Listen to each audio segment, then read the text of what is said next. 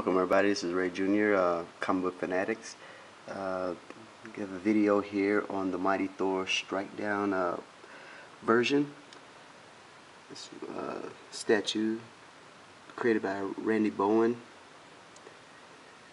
There's the box as usual.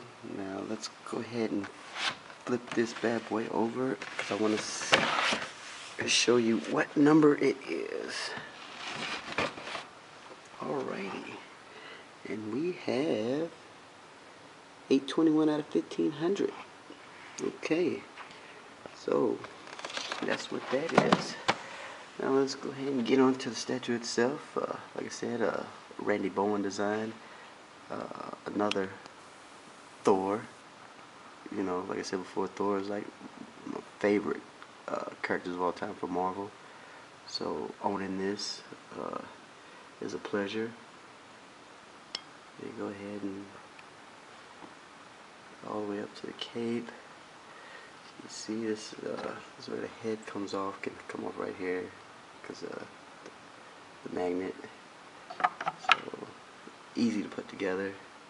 Uh, had a little issues with the with the lightning bolts though, as you can see. That's what they looks like with him on the strike down. But overall, all in all, Mr. Bowen did a very good job on this one. Go ahead and turn him around here so you can see. So there's the cape. And everybody knows Thor gets to going ahead and striking down that hammer, creating all that thunder and lightning. It's over. It's over for whoever he's in battle with.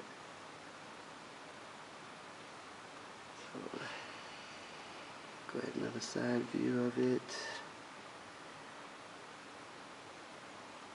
Just a wonderful design. Wonderful.